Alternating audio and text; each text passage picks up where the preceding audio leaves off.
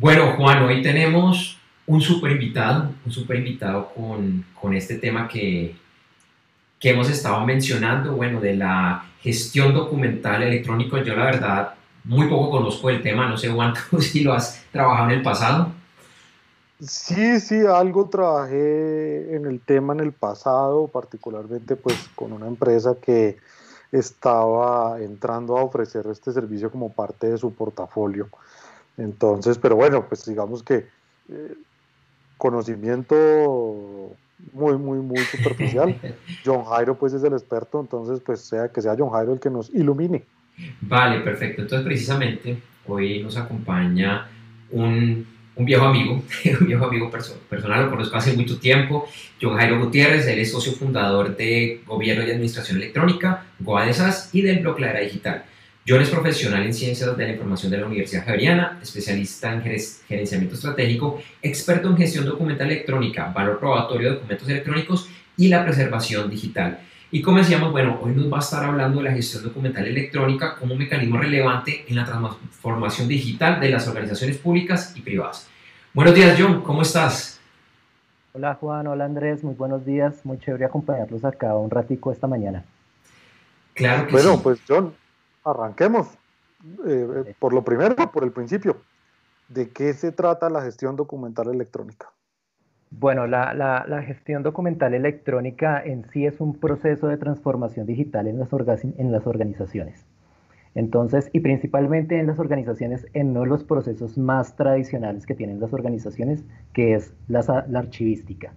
Entonces, como ustedes sabrán, a nivel normativo, los documentos de las entidades públicas que se guardan en los archivos hacen parte del compendio donde se registran todas las actividades que hacen los funcionarios o contratistas en la organización. Así que lo que estamos haciendo aquí con el proceso de la gestión documental electrónica es coger todos esos archivos y llevarlos a medios digitales, pero no solamente como un proceso de digitalización solamente, sino como un proceso donde hay eh, valor probatorio de los documentos, donde hay procesos de eh, gestión de datos, de Big Data y otros procesos transversales eh, relacionados con la información y los datos. Genial. Cuéntanos un poquito más cómo se ha llevado a cabo en las organizaciones este proceso y cómo impacta la normatividad actual. Lógicamente, pues yo imagino que eso cambia de país en país, pero por lo menos en Colombia, que es, me que es el que conoces, ¿cómo lo afecta?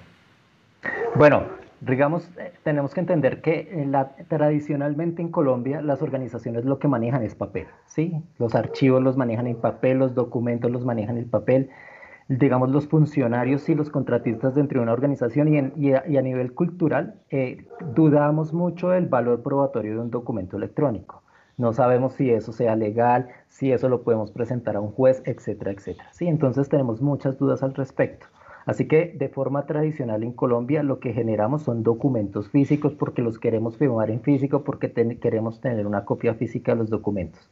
Así que este proceso, digamos, ha sido un poco lleno de tropiezos, porque hay vacíos normativos, porque las organizaciones temen de si pueden gestionarlo de esa forma, porque no conocen técnicamente cómo llevarlos. Digamos, nosotros tenemos muy buenos profesionales en el medio, expertos en tecnología, en gestionar datos e información, pero no tanto en gestionar documentos de archivo, que, son, que es muy diferente a un documento electrónico normal, sino que esto es un, un tema de documentos electrónicos de archivo. Es decir, aquí es muy importante el valor probatorio de los documentos porque un documento es como el registro que demuestra lo que hizo un funcionario y un contratista en una entidad, es decir, el desarrollo de sus funciones. Y hay que entender que pueden llegar demandas, pueden suceder muchas cosas a una organización por el desarrollo de las actividades de una persona.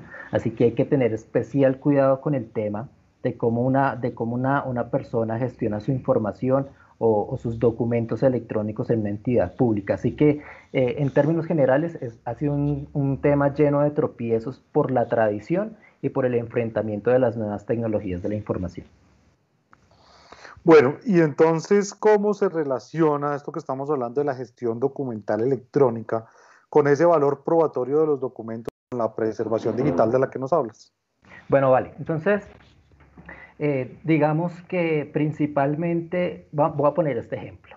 Yo puedo tomar una fotografía con mi celular y es una fotografía la cual yo la puedo guardar donde yo quiera, la puedo modificar si yo quiero, se me puede perder, no, no pasa nada, le puedo poner Photoshop, modificarla cuanto yo quiera y nadie me va a demandar, no voy a tener ningún problema por hacer lo que yo quiera con esa fotografía, ponerla donde yo quiera, etcétera, etcétera.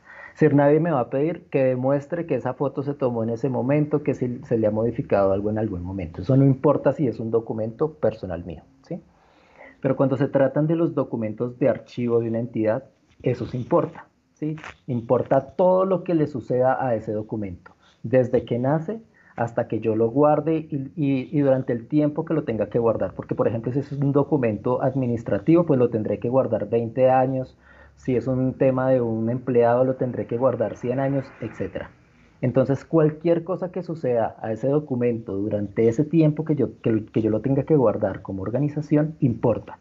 Así que el tema de la gestión documental electrónica y la preservación digital y el valor probatorio de esos documentos es garantizar que el documento está auténtico, íntegro, fiable y disponible durante el tiempo que la legislación me dice que yo tengo que guardar ese documento dependiendo del tipo de documento. Si es un documento legal, contable, pues habrán unos tiempos que yo deba guardarlo.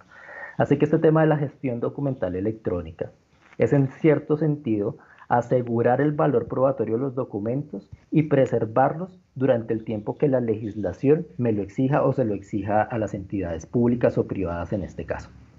De eso se, trata. Bueno, John, un tema muy interesante. Eh, creo que acá aprendimos mucho de esto y bueno, para finalizar, cuéntanos dónde te pueden contactar, cómo pueden saber más de, de estos temas. Bueno, pues eh, como les cuento, tenemos una empresa prestando un servicio que es muy muy nuevo, realmente son muy pocas las organizaciones que lo hacen, se llama Gobierno de Administración Electrónica. Y lo que hacemos es principalmente eso, ¿no? Eh, dar consultoría en ese tipo de temas. Así que nos pueden contactar, la página web es goade.com.com eh, o mi correo electrónico que es johnjg.gmail.com. Vale, perfecto, John. Pues muchísimas gracias y esperamos tenerte aquí nuevamente más adelante en Gerentes 360. Que estés muy bien. Claro que sí, con todo gusto. Muchas gracias, Juan, Andrés, que estén muy bien, que pasen un muy buen resto de día. Chao, Johnny, muchas gracias por acompañarnos. Bueno, hasta luego.